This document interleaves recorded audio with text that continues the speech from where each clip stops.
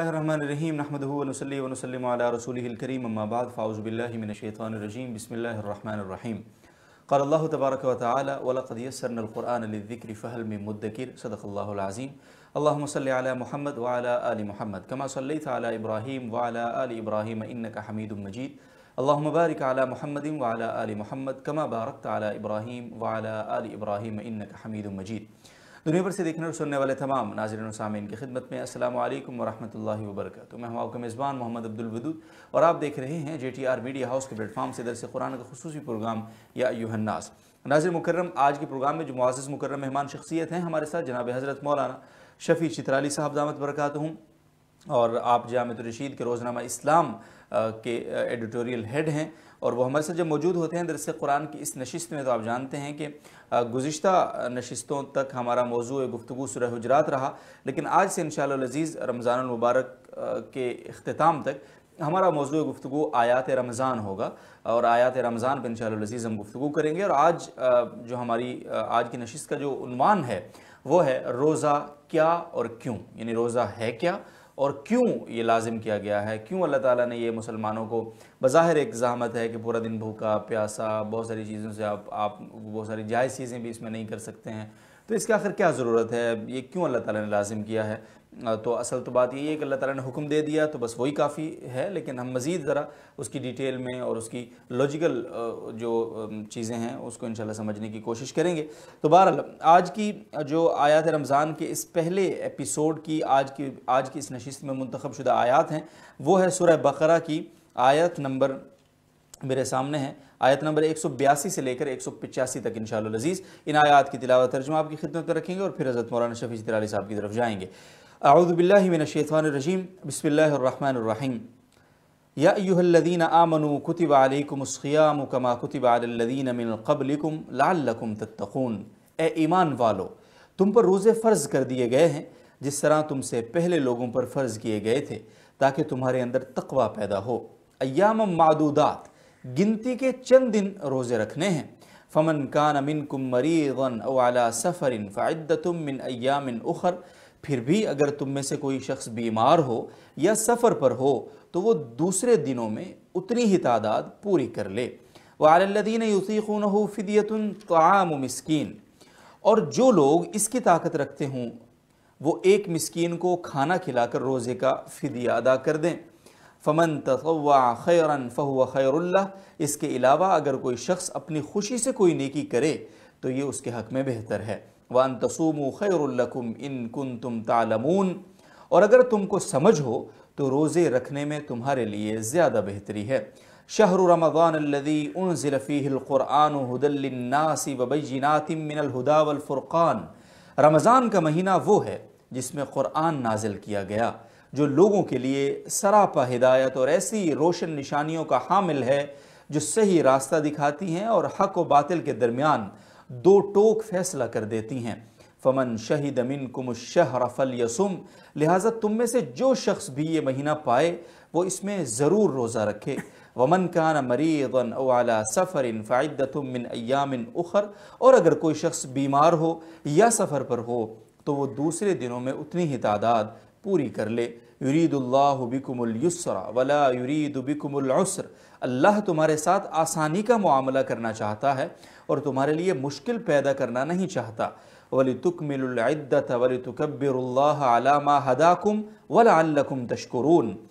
تاکہ تم روزوں کی گنتی پوری کر لو اور اللہ نے تمہیں جو راہ دکھائی ہے، اس پر اللہ کی تکبیر کہو اور تاکہ تم شکر گزار بنو۔ ناظر محترم تلاوت ترجمہ سماعت فرمایا آج کی منتخب شدہ آیات کا آپ نے جائیں گے۔ حضرت مولانا اشرفی چتر علی صاحب کی خدمت میں۔ السلام علیکم ورحمۃ اللہ وبرکاتہ۔ وعلیکم السلام ورحمۃ اللہ بہت شکریہ پروگرام تشریف آوری کے لیے۔ سورہ حجرات کا الحمدللہ بہت زبردست سلسلہ رہا ہمارا۔ اور اب انشاءاللہ یہ رمضان کے آخر تک آیات رمضان پر گفتگو رہے گی۔ چلو لذیذ۔ تو آج کی جو آیات آپ کے سامنے ہم نے تلاوت ترجمہ ان کا رکھا ہے ان کی پہلے تو ان کا مفہوم اور مفہومی تشریح، تفسیری خلاصہ سا اور پھر کچھ سوالات ہیں وہ آپ کی خدمت میں رکھیں گے انشاءاللہ۔ بسم اللہ الرحمن الرحیم نحمد و صلی علی رسول الکریم، اما بعد۔ ناظرین کرام، الحمدللہ، اللہ تعالیٰ نے ہمیں زندگی میں ایک بار پھر رمضان مبارک کی یہ مقدس اور پرکیف ساتیں اللہ تعالیٰ نے نصیب فرمائی ہیں اور جیسے کہ ان آیات میں آگے آ رہا ہے رمضان مبارک اور قرآن مجید کا آپس میں بہت گہرا تعلق ہے کہ قرآن کریم نازل ہی رمضان مبارک میں ہوا ہے۔ تو اس لیے رمضان مبارک کے مہینے میں قرآن کریم کے ساتھ ہمارا تعلق اور قرآن کریم کو پڑھنے اور اس کو سمجھنے کی کوشش اس میں اضافہ ہونا چاہیے۔ اور اسی کوشش کے ضمن میں ہم نے یہ فیصلہ کیا کہ رمضان مبارک سے متعلق جو آیات ہیں قرآن کریم کے ان آیات سے متعلق جو مفسرین کرام نے جو تفصیلات لکھی ہیں ان میں سے کچھ ناظرین کی خدمت میں پیش کی جائیں۔ صحیح۔ یہ جو آیت ہے روزے کی فرضیت اس آیت سے ثابت ہوتی ہے۔ صحیح۔ اللہ تعالیٰ فرماتے ہیں یا ایوہ الذین آمنوا کتبہ علیکم السیام کما کتبہ علی الذین من قبلکم لعلکم تتقون۔ کہ اے ایمان والو تم پہ روزے فرض کر دیے گئے ہیں۔ جیسے کہ تم سے پہلے لوگوں پر روزے فرض کیے گئے تھے جی۔ تاکہ تم پرہیزگار بنو۔ یہ آیت بہت ہی جامع آیت ہے یعنی ایک مختصر سی آیت ہے۔ اس آیت کے اندر اللہ تعالیٰ نے روزے کی فرضیت کو بھی بیان فرمایا اس کی تاریخ کی طرف بھی اشارہ کر دیا اور اس کے اس کے مفہوم اور اس کے مقصد کی طرف بھی اللہ تعالیٰ نے اس آیت میں اشارہ کیا ہے۔ صحیح۔ اور پھر روزے تیس دن کے روزے رکھنا جب پہلی دفعہ یہ حکم نازل ہوا تو ظاہر لوگوں کو یہ مشکل لگنا تھا۔ اس لیے کہ اس سے پہلے جو روزوں کا تصور تھا وہ روزے مہینے میں تین روزے رکھے جاتے تھے، عاشور کا روزہ رکھا جاتا تھا۔ تو پورے روزے کا تصور جو ہے اس معاشرے میں نہیں تھا۔ تو اس لیے اللہ تعالیٰ نے روزے کا حکم بیان کرنے سے پہلے فرمایا کہ پریشان ہونے کی بات نہیں ہے۔ اس لیے کہ ایام معدودات یہ گنتی کے تھوڑے ہی دن جی۔ یعنی سال کے گیارہ مہینے آپ کو آپ کی مرضی ہے۔ اور ایک مہینہ جو ہے وہ اللہ کی مرضی کے مطابق آپ نے اپنا یعنی اپنی اپنے اوقات کی کا آپ نے نظم بنانا ہے۔ اور فمن کان منکم مریضن اور اس میں اور بھی آسانی ہے۔ فرمایا کہ اگر کوئی بیمار ہے اولا سفر یا کوئی سفر میں ہے تو اس کو بھی چھوٹ ہے۔ فائدہ تم من ایام اخر۔ تو وہ اور دنوں میں روزہ رکھ لے۔ یہ روزے میں ایسی سختی نہیں ہے کہ کسی پہ کوئی تکلیف مالا یطاق یعنی ایسی تکلیف دی گئی ہو جس کی اس کو وہ طاقت نہ رکھتا ہو۔ جی۔ والدین یطیقون فدیت تعام مسکین۔ اور جو طاقت رکھتے ہیں ان پر فدیہ بھی ہے۔ ایک مسکین کا کھانا۔ مفسرین فرماتے ہیں مشہور تفسیر کے مطابق کہ ابتدا میں یہ رعایت دی گئی تھی کہ جو روزہ رکھتے ہیں رکھ سکتے ہیں وہ روزہ رکھ لیں۔ اور جو روزے کی جگہ فدیہ دے سکتے ہوں تو شروع میں یہ چھوٹ دی گئی تھی کہ وہ روزے کی جگہ فدیہ دے دیں۔ یعنی وہ مسکینوں کو کھانا کھلا دیں تاکہ روزے کے جو مقاصد میں سے ایک ہے احساس بھوک کا احساس وہ مقصد اس سے پورا ہو جائے۔ تو شروع میں یہ حکم تھا یہ آسانی تھی۔ اور آگے فرمایا کہ فمن تطوع خیرا فهو خیر اللہ جو ایک مسکین کے کھانے کا اس میں حکم ہے یہ ضروری نہیں ہے کہ ایک ہی مسکین کے کھانے پہ اکتفا کرے جی۔ بلکہ جو جتنا زیادہ کرے نیکی کے راستے میں جو جتنا زیادہ خرچ کرے یہ اس کے لیے اچھا ہے۔ وان تسوم و خیر القم ان کن تم تالمون یہ جو رعایتیں دی گئی ہیں سفر میں رعایت ہے بیماری کی حالت میں رعایت ہے اور شروع میں یہ رعایت بھی تھی کہ اگر کوئی استطاعت رکھتا ہے وہ فدیہ دے دے روزہ نہ رکھے۔ اس کے بعد اللہ تعالیٰ فرماتے ہیں کہ پھر بھی اگر تم روزہ رکھ سکو روزہ رکھ لو۔ یہ تمہارے لیے بہتر ہے۔ تو رمضان میں روزے کا رکھنا جو ہے یہ بہتر ہے کیونکہ آگے اللہ نے پھر رمضان کی فضیلت ذکر کی ہے کہ شہر رمضان الذي انزل فيه القرآن کہ رمضان کا مہینہ جو ہے یہ بہت ہی امتیازی خصوصیات رکھتا ہے۔ جی۔ اور ان خصوصیات میں سے ایک خصوصیت یہ ہے کہ اس میں اللہ تعالیٰ نے قرآن نازل کیا ہے اور یہ قرآن کیا چیز ہے؟ حدل للناس۔ جو انسانیت کے لیے ہدایت کا راستہ دکھانے والی کتاب ہے سیدھی راہ دکھانے والی کتاب ہے۔ وہ بینات من الہدا والفرقان اور اس کے اندر اللہ تعالیٰ نے ہدایت کے اور حق اور باطل کے درمیان تمیز کرنے کے واضح دلائل اللہ تعالیٰ نے اس کے اندر رکھے ہیں۔ تو اس رمضان اور قرآن کی مناسبت کو سامنے رکھتے ہوئے اللہ تعالیٰ نے فرمایا کہ فمن شاہد امن کو مشہر فلیسم ہوں کہ جس کو رمضان کا مہینہ مل جائے اتنی فضیلت والا مہینہ ہے تو اس پہ لازم ہے کہ وہ روزہ رکھ لے۔ ومن کانا مریضاً اولا سفر اور اگر کوئی مریض ہے یا سفر پر ہے تو فائدہ تو من ایام اخر تو وہ دوسرے دنوں میں گنتی کر سکتا ہے۔ یرید اللہ بکم السر ولا یرید بکم الاسر اللہ تعالیٰ ایک بار پھر فرماتے ہیں کہ اللہ تعالیٰ تمہارے ساتھ یسر کا ارادہ فرماتے ہیں آسانی چاہتے ہیں تمہارے لیے۔ عسر اور تنگی جو ہے وہ اللہ تعالیٰ تمہارے لیے نہیں چاہتے۔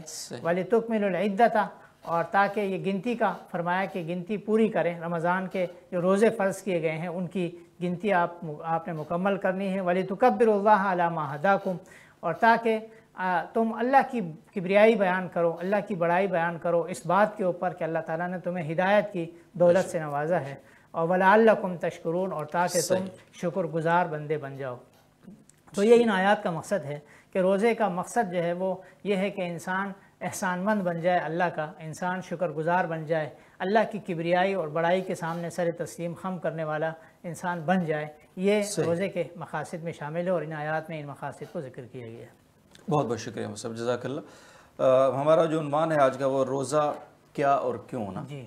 تو سب سے پہلے تو یا الدین امن کتب علیکم السیام لفظ سیام یعنی روزہ کیا ہے؟ جی۔ اس کا مفہوم اور سیام کا معنی۔ اس پر اگر آپ تھوڑی سی ہمیں کچھ نصیحت فرمائیں۔ جی ہاں سیام جو ہے یہ سوم کی جمع ہے اور سوم عربی زبان میں رکنے کو کہا جاتا ہے۔ جی۔ اور علماء فرماتے ہیں کہ اسی سے روزے کے مقصد کی طرف بھی رہنمائی ہوتی ہے۔ یعنی سیام کا معنی ہے رک جانا لغوی معنی۔ اور اصطلاح میں روزہ جو ہے یہ کہا جاتا ہے مفترات ثلاثہ جن کو کہتے ہیں کھانا پینا اور مباشرت۔ اس سے دن کے وقت اللہ کے تقرب کی نیت کر کے جو ہے وہ ان چیزوں سے رک جانا یہ روزہ کہلاتا ہے۔ یہ روزے کا اصطلاحی معنی ہے۔ صحیح۔ تو اس ان آیات میں یہ جو فرمایا گیا کہ تم سے پہلے لوگوں کے اوپر بھی روزے فرض کیے گئے ہیں تو اس کا مطلب یہ ہے کہ روزہ جو ہے یہ ایک ایسی عبادت ہے۔ نماز اور روزہ مفسرین فرماتے ہیں کہ یہ دو ایسی عبادتیں ہیں کہ حضرت آدم علیہ السلام سے لے کر جناب نبی کریم صلی اللہ علیہ وسلم تک تمام انبیاء کرام میں یہ مشترک عبادات رہی ہیں۔ جی۔ طریقہ مختلف ہو سکتا ہے اور ایام میں فرق ہو سکتا ہے طریقہ کار میں فرق ہو سکتا ہے لیکن یہ کہ یہ دو عبادتیں تمام انبیاء میں جو ہے یہ مشترک رہی ہیں۔ صحیح۔ اور پچھلی امتوں پہ بھی روزے فرض تھے۔ اصل میں یہ اللہ نے بہت بلیغ انداز اختیار فرمایا پچھلی امتوں پر بھی فرض تھے۔ پچھلی امتوں پہ یہود و نصارہ بھی شامل ہیں۔ اور نصارہ پر بھی روزے فرض تھے یہود پر تورات میں بھی روزے کا ذکر ہے انجیل میں بھی روزے کا ذکر ہے۔ ان پر بھی روزے فرض تھے۔ لیکن انہوں نے بعد میں دو کام کیے۔ ایک کام یہ کیا کہ روزے کے روزے کی جو فرضیت تھی اس کو انہوں نے ایسا سمجھا کہ یہ فرض نہیں بلکہ مشورہ ہے۔ اچھا۔ یعنی اللہ نے گویا کہ یہ یہ نفس کے تزکیے کا ایک ذریعہ ہے۔ اللہ نے جو ہے یہ ایک مشورے کے طور پر یہ حکم دیا ہے جو اپنے نفس کا تزکیہ کرنا چاہے وہ اپنی خوشی سے روزہ رکھ لے۔ ہے کہ یہ ان کی فرضیت کو انہوں نے ان کیا۔ دوسرا کام انہوں نے کیا کہ بعض نے غلو کیا۔ حدیث میں بھی آتا ہے کہ ان پہ بھی تین، تیس روزے فرض تھے۔ تو ان کا ایک بادشاہ جو بیمار ہو گیا تو اس نے کہا کہ میں اگر ٹھیک ہو گیا تو میں ہم دس روزے اور رکھیں گے۔ انہوں نے چالیس کر دیے۔ پھر کچھ دور بعد جو ہے وہ ان کا، ان کے ہاں تو یہی نظام تھا کلیسائی اور پاپائیت کا۔ تو انہوں نے پھر یہ کیا کہ سات روزے جو ہے وہ کسی اور بادشاہ نے کہا کہ وہ، اس نے نظر مان لی تو سینتالیس ہو گئے۔ پھر اس کے بعد کچھ عرصے بعد انہوں نے کہا کہ میں تین رہ گئے ہیں تو پچاس پورے کر لیتے ہیں۔ تو نتیجہ یہ ہوا کہ روزہ رکھنا ان کے لیے مشکل ہو گیا۔ دین میں غلو کیا تو اس کے نتیجے میں روزہ رکھنا ان کے لیے مشکل ہو گیا۔ تو انہوں نے ایک یہ کیا کہ روزہ کہا کہ یہ اختیاری چیز ہے یہ کوئی فرض نہیں ہے۔ اور دوسرا انہوں نے یہ کیا کہ ہم روزے میں کوئی پابندی نہیں ہے ہم سردیوں میں جب دن چھوٹے ہوں گے اپنی مرضی سے رکھے رکھا کریں گے۔ تو اس طرح انہوں نے کیا تو اللہ نے فرمایا کہ ان پر بھی فرض تھے۔ انہوں نے اس فرض کو پورا نہیں کیا۔ لعلکم تتقون۔ علماء فرماتے شاید تم اس امت کو فرمایا گیا ہے کہ شاید تم اس طرح اللہ کے احکامات کے اندر جو ہے وہ تصرف کرنے سے باز رہو گے اور اللہ کا جو حکم ہے اس کو اسی طرح برقرار رکھو رکھو گے جس طرح کے یہ حکم اللہ نے دیا ہے۔ ٹھیک ہے۔ بہت بہت شکریہ، بڑی خوبصورت بات یہ ارشاد فرما دیا آپ نے کہ سابق امتوں کے حوالے سے کہ انہوں نے ان پر روزے کیسے فرض ہے اور کیا سلوک کیا انہوں نے روزے کے ساتھ۔ اچھا اب اگلا سوال آپ کی خدمت میں جس طرح ہمارا عنوان کا دوسرا حصہ ہے، کیا کے بعد کیوں؟ روزے کے روزہ کیوں لازم ہے؟ مطلب مسلمانوں پر اس امت پر پہلی امتوں پر بھی ایون اور کیا فوائد ہیں اس کے؟ یعنی کن فوائد کی؟ کیونکہ ظاہر ہے شریعت کی کوئی بھی چیز بے فائدہ تو بلا مقصد تو ہے نہیں. تو اس کائنات میں کوئی ایک ذرہ بھی بے مقصد نہیں ہے. تو پھر روزے جیسی عبادت کیسے بے مقصد ہو سکتی ہے؟ تو روزے کے مقاصد اور اس کے فوائد پہ ذرا جی ہاں روزے کے پیچھے بہت بڑی حکمت اور بہت بڑا فلسفہ ہے۔ اور وہ یہ ہے کہ جیسے اس کا جو لغوی مفہوم ہم نے عرض کیا کہ رک جانا۔ جی۔ یعنی روزہ ہمیں برداشت سکھاتا ہے۔ علماء فرماتے ہیں کہ روزہ جو ہے وہ چار چیزیں روزے سے جو ہے وہ ہمیں حاصل ہوتی ہیں۔ اس کا جو پیغام ہے یا مقصد ہے وہ چار چار چیزوں سے جو ہے وہ ہم اس کو سمجھ سکتے ہیں۔ ایک ہے رک جانا یعنی برداشت۔ اس وقت جو دنیا ہے اس دنیا میں ایک بہت بڑا بحران ہے برداشت کا۔ یعنی لوگوں میں برداشت نہیں ہے۔ اور اس کی وجہ سے جو ہے وہ ہر جگہ جو ہے وہ فساد ہے ہر جگہ جو ہے وہ انتشار ہے خلفشار ہے۔ تو روزہ سب سے پہلے ہمیں جو چیز سکھاتا ہے وہ ہے ضبط نفس یعنی برداشت کرنا کہ اپنے نفسانی خواہشات کے اوپر اپنے جذبات کے اوپر کس طرح جو ہے وہ ہم نے ضبط نفس سے کام لے خود کو جو ہے وہ کنٹرول کرنا ہے۔ جی۔ تو اپنے آپ کو کنٹرول کرنا برداشت کرنا جو ہے یہ ہمیں روزہ سکھاتا ہے۔ دوسری چیز جو روزے سے ہمیں سمجھ آتی ہے وہ ہے نظم و ضبط اور ڈسپلن۔ یعنی روزہ ایک عجیب عبادت ہے کہ اس میں انسان چوبیس گھنٹے پابند ہو جاتا ہے۔ یعنی پابندی اس عجیب نوعیت کی ہے کہ دو منٹ پہلے اگر کوئی جو ہے وہ کچھ کھا لے تو روزہ ٹوٹ جاتا ہے پورے دن کی محنت ضائع ہو جاتی ہے۔ اور دو منٹ بعد اگر نہ کھائے تو یہ شریعت اس کو برا سمجھتی ہاں جی، ہے کہ وہ اللہ کے حکم کا جو ہے وہ کیا گیا۔ اسی طرح شہری میں دو منٹ پہلے اگر کوئی نہ کھائے شہری نہ کھائے تو وہ پسندیدہ چیز نہیں ہے۔ اور اگر صبح صادق کے طلوع کے بعد اگر ایک منٹ بعد بھی کوئی کھاتا ہے تو اس کا روزہ نہیں ہوتا۔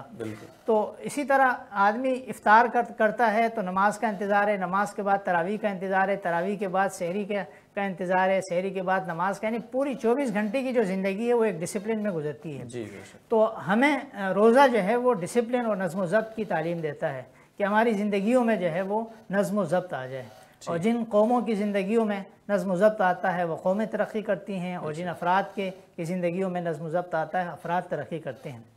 تیسری چیز جو روزہ روزے سے سمجھ میں آتی ہے جو روزے کے مقاصد میں شامل ہے وہ احساس۔ یعنی احساس۔ دنیا میں سب سے بڑی چیز احساس ہے جی۔ کہ انسان جو ہے وہ دوسرے کا احساس رکھے کہ بھوک کیا چیز ہے پیاس کیا چیز ہے محنت مشقت کیا چیز ہے گرمی کو برداشت کرنا کیا چیز ہے۔ تو انسان جو ہے وہ فطرتاً کمزور ہے کہ انسان جب خود یعنی سیراب ہوتا ہے تو وہ سمجھتا ہے کہ ساری دنیا سیراب ہے اور اگر خود جو ہے وہ یعنی اس کو اللہ تعالیٰ نے نوازا ہے اور اس کو بھوک کا مسئلہ درپیش نہیں ہے تو وہ سمجھتا ہے کہ ساری دنیا جو ہے وہ پیٹ بھری ہوئی ہے۔ تو روزہ ہمارے اندر احساس پیدا کرتا ہے جی کہ ہم خاص طور پر وہ لوگ جن کو اللہ تعالیٰ نے نعمتوں سے نوازا ہے وہ احساس کریں ان لوگوں کا کہ جن کو اللہ تعالیٰ نے کم دیا ہے جن کو اللہ نے آزمائش میں رکھا ہے مال مال کے حوالے سے تو یہ احساس ہمارے اندر روزہ پیدا کرتا ہے۔ اور چوتھی چیز جس کا اس میں ذکر کیا گیا کہ لال لکم تتقون تقوی۔ تقوی سب سے پرہیزگاری پرہیزگاری جو ہے یہ سب سے اہم چیز ہے۔ انسان کی زندگی کا جو ہے وہ کی سب سے زیادہ سب سے بڑی خوبصورتی وہ پرہیزگاری ہے۔ اور پرہیزگاری کیا چیز ہے؟ خوف خدا اور راست بازی یعنی انسان کے دل میں اللہ کا خوف ہو اور اس کے اعمال میں سچائی ہو۔ یعنی انسان جو بھی کام کرے وہ سچائی اس کے اندر اس میں پایا جائے۔ اس میں دھوکہ نہ ہو اس میں فریب نہ ہو اس میں خیانت نہ ہو۔ تو اس کو جو ہے وہ راست بازی کہا جاتا ہے۔ اور یہ انسان کی زندگی کا انسان کے کردار کی سب سے بڑی خوبصورتی ہے کہ اس کے اندر تقوی آ جائے۔ تو روزہ ہمارے اندر تقوی کی صفت پیدا کرنے کے لیے جیسے اللہ تعالیٰ نے سراحت کے ساتھ اس میں بیان بھی فرمایا ہے۔ تو یہ مقاصد ہیں روزے کے جو علماء نے ذکر کیے بہت شکریہ آپ کا۔ حضرت بہت شکریہ۔ اچھا اگلا سوال آپ کی خدمت میں رکھیں گے اور وہ سوال یہ نیچے یا یہ ایک سوال یہ تو صاحب کو مطلب حوالے سے تھا کہ انہوں نے روزے کے ساتھ کیا سلوکی تو وہ آپ نے میرے خیال ہے جی، جی۔ بیان کر دیا ہے پہلے۔ جی۔ تو یطیقونہ فدیۃ طعام مسکین یعنی ایام معدودات فمن کان منکم مریضا او علی سفر فائدۃ یعنی اگر آپ مریض ہیں سفر میں ہیں تو ٹھیک ہے سمجھ آتی ہے بات گنجائش ہے رکھ لیں تو بہتر ہے۔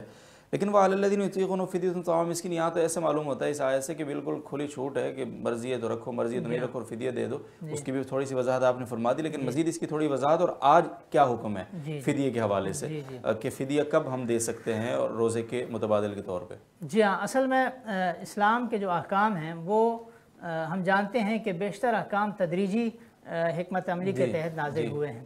روزے کے بارے میں بھی نماز کے بارے میں بھی ہم جانتے ہیں کہ نماز میں شروع میں کچھ رعایتیں تھیں۔ نماز میں لوگ بات بات چیت بھی کرتے تھے۔ نماز میں قبلے سے ہٹ جانے پر بھی جو ہے بہت زیادہ سختی نہیں تھی لیکن بعد میں اس کو منظم کیا گیا۔ جی۔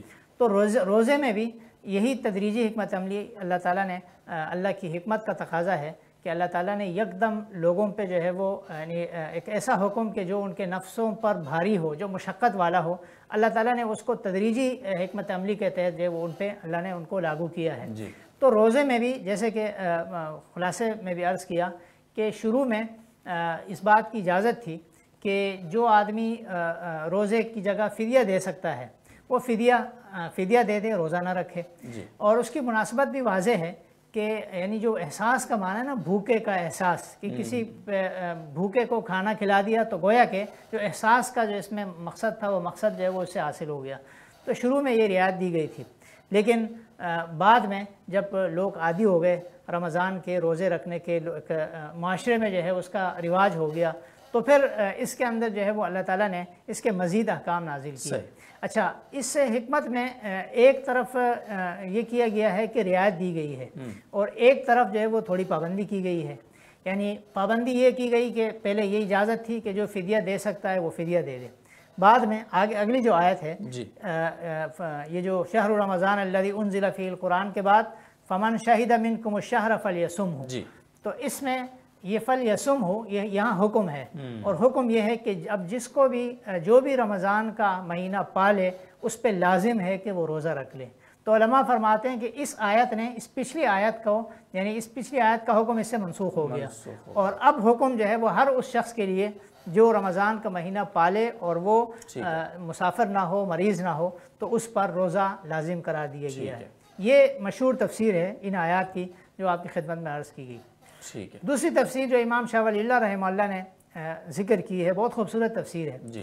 وہ فرماتے ہیں کہ یہ جو والذین یطیقونہ فدیتن طعام و مسکین ہے اس میں فدیے سے مراد یہ والا فدیہ بھی اس میں آتا ہے لیکن وہ فرماتے ہیں کہ اس سے مراد صدقہ فطر ہے۔ اچھا۔ امام شاہ ولی اللہ رحمہ اللہ فرماتے ہیں کہ جو قرآن کریم کی یہ جو چار پانچ آیات ہیں نا جی۔ آیات رمضان اس میں اللہ تعالیٰ نے بہت بلاغت کے ساتھ روزے کا مفہوم بھی ذکر کیا تاریخ بھی ذکر کی اس میں جو رعایتیں ہیں ان کو بھی ذکر کیا اور صدقہ فطر کا بھی ذکر کیا۔ اس سے اگلی جو آیت ہے والی تو اللہ اس میں اشارہ ہے عید کی طرف یعنی عیدین کی طرف اس میں اشارہ ہے۔ جی۔ اور آگے جو ویزا سالہ کا عبادی انی فعنی قریب اس میں جو افطار کا وقت ہے افطار کے وقت کی جو قبولیت کا وقت ہے اس کی طرح وہ فرماتے ہیں کہ اشارہ ہے اور آگے آیات میں اعتکاف کا بھی ذکر ہے۔ تو گویا کہ ان پانچ چھ آیات کے اندر اللہ تعالیٰ نے رمضان سے متعلق بہت سارے جو احکام ہیں ان احکام کی طرف اشارہ کر دیا ہے۔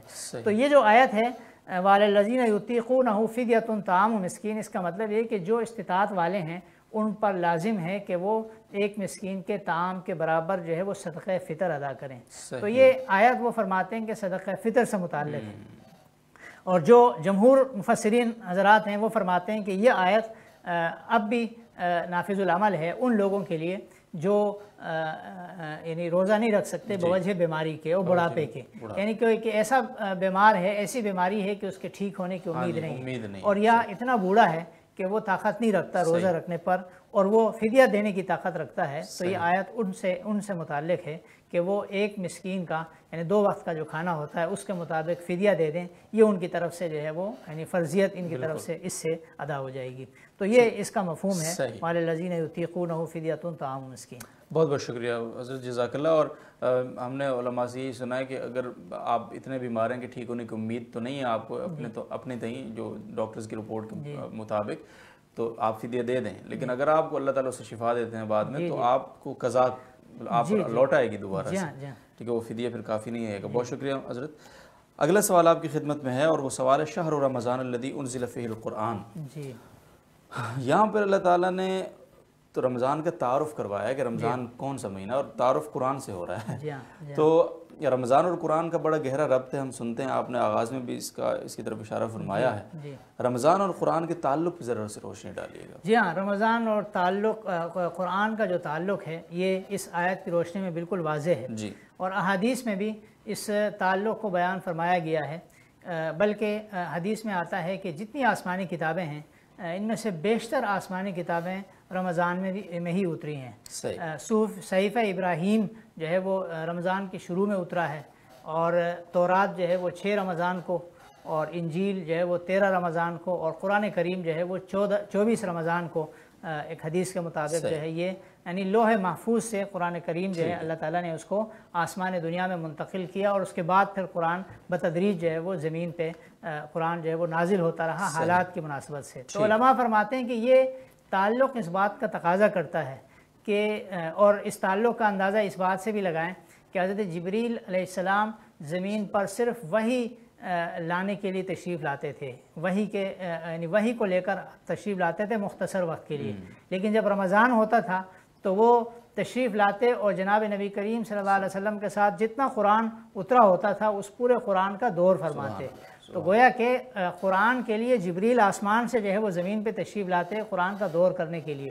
اور جناب نبی کریم صلی اللہ علیہ وسلم بھی رمضان مبارک میں آپ کا معمول تھا کہ آپ صلی اللہ علیہ وسلم جتنا قرآن اتر چکا ہوتا تھا اس کا دور فرماتے تھے اور صحابہ کرام کا بھی یہ معمول رہا۔ اور اکابر اور اسلاف جتنے بھی گزرے ہیں ان کی ہم تاریخ پڑھتے ہیں۔ تو بہت یعنی گہرا انہوں نے اس تعلق کو جو ہے وہ نبھایا ہے رمضان اور قرآن کو کہ ایسے بھی حضرات ہیں کہ ایک ایک رکعت میں انہوں نے پورا قرآن پڑھا اور ایک ایک دن میں پورا قرآن ختم کیا۔ تو بہت گہرا تعلق ہے اس کا تقاضا یہ ہے کہ ہم بھی قرآن کریم کو رمضان کے مہینے میں خاص طور پر اس کے ساتھ ہم اپنے تعلق کو مضبوط کریں اور اس کو سمجھنے کی کوشش کریں اس کی تلاوت میں جو ہے وہ ہم اضافہ کریں۔ بہت بہت شکریہ عزیز اللہ تعالیٰ ہمیں توفیق عطا فرمائے اور آگے ایک یہ آیت جو ہم نے ہم میرے سامنے ہے ومن کان مریضا او علی سفر یعنی فمن شہد منکم الشہر فلیصم کے بعد پھر سے ایک دفعہ جی۔ مریض اور مسافر کے لیے جی۔ یعنی روزہ آلٹرنیٹ یا متبادل دنوں میں روزہ رکھنے کا حکم جی۔ یہاں پہ ہے تو یہ تو پہلے بھی ذکر ہو گیا ہے دوبارہ اس کو ذکر کرنے کا کیا جی ہاں مفسرین نے لکھا ہے کہ یہ پچھلی جو آیت ہے اس میں ذکر تھا جی۔ کہ والدین یوتیقون فدیت طعام و مسکین کہ اس کا فدیے کا اس میں ذکر ہے اور اس سے پہلے مریض اور اس کے لیے اجازت کا ذکر ہے۔ تو یہ جو آیت ہے اس آیت میں یہ چونکہ بعد میں اتری ہے دو جی۔ سال کا اس میں فاصلہ رہا ہے اور یہ جو آیت ہے کہ فمن شہید امین کو مشہر فلیسم کہ اب جو رمضان کا مہینہ پالے اس پہ لازم ہے کہ وہ روزہ رکھ لے۔ جی۔ تو اب ذہن میں سوال پیدا ہو سکتا تھا کہ شاید آیا سابقہ جو رعایتیں تھیں پچھلی آیات آیت میں جو رعایتیں تھیں شاید وہ ساری رعایتیں ختم ہو گئیں۔ اور شاید اب مریض جو ہے وہ بھی روزہ اس کے لیے رکھنا لازم ہو گیا۔ اور جو مسافر ہے اس پر بھی شاید روزہ رکھنا لازم ہو گیا۔ یہ سوال پیدا ہو سکتا تھا۔ تو اس کے لیے اس سوال کے جواب میں اللہ تعالیٰ نے اس کو دوبارہ ذکر کیا کہ روزہ رکھنا اب ہر مسلمان پر جو طاقت رکھتا ہے اور جو مریض نہیں ہے جو مسافر نہیں ہے اس پر لازم ہے۔ یعنی جو جو بھی استطاعت رکھنے والا ہے اس پر لازم ہے۔ اب کوئی استثناء نہیں ہے اس میں۔ لیکن جو مریض ہے اور مسافر ہے اس کے لیے استثناء اب بھی برقرار ہے۔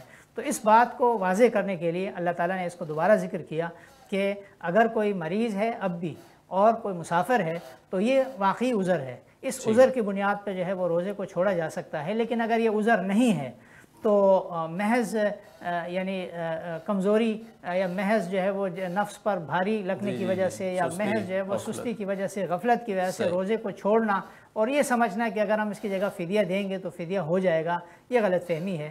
تو اللہ تعالیٰ نے اس کا ذکر یہاں فدیے کا ذکر نہیں کیا یہاں انہی دو چیزوں کا ذکر کیا کہ اس کی اجازت ہے اس میں فدیے کی گنجائش نہیں ہے۔ جو آدمی تندرست ہو اور مسافر نہ ہو تو وہ روزہ نہ رکھے اور فدیہ دے اس کی گنجائش نہیں ہے۔ اس لیے یہاں اس کا ذکر نہیں کیا۔ جی ٹھیک ہے۔ بہت بہت شکریہ حضرت مولانا شفیع صاحب دامت برکاتم ناظر محترم آپ نے سماعت فرمایا۔ آج کا ہمارا درس درس قرآن جو ہے، اس کا عنوان تھا رمضان کیا، روزہ کیا اور کیوں؟ اور ان دونوں چیزوں پر یعنی کیا ہے روزہ؟ اس کے مفہوم پر بھی بات ہوئی، کیوں ہے؟ تو روزے کے مقاصد بڑی تفصیل سے بات ہوئی، اور پھر جو بھی ہم نے آیات آج پڑھی، رمضان اور قرآن کے تعلق پر بھی بات ہوئی، پچھلی امتوں پر جو روزہ لازم ہوا، اس کی کیا ڈیٹیل ہے، ان امتوں نے اس روزے کے ساتھ کیا حشر نشر کیا، اس پر بھی بات ہوئی۔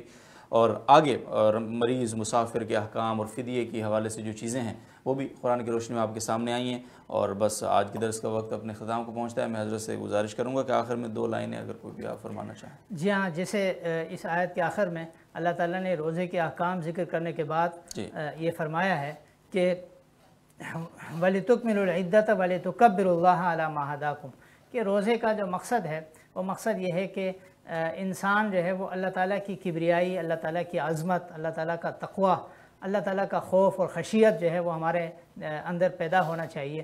اور ولعلکم تشکرون اور ہمیں روزے نے جو نعمتیں اللہ تعالیٰ روحانی اور جسمانی اور مادی ہر قسم کی نعمتیں اس رمضان کے مبارک مہینے میں جن سے ہم فیضیاب ہوتے ہیں ان پر ہمیں شکر گزار بننا چاہیے۔ اور زندگی کے ہر ہر لمحے کے اندر اللہ کا شکر ادا کرنے والا بننا چاہیے۔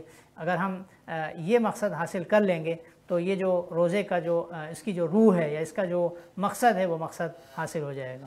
بہت بہت شکریہ حضرت جزاکم اللہ، اور بلا اللہ کم تشکرون، تاکہ تم شکر گزار بنو۔ اس شکر گزاری کا مطلب صرف یہی نہیں ہے کہ ہم زبان سے شکر ادا کرتے رہیں۔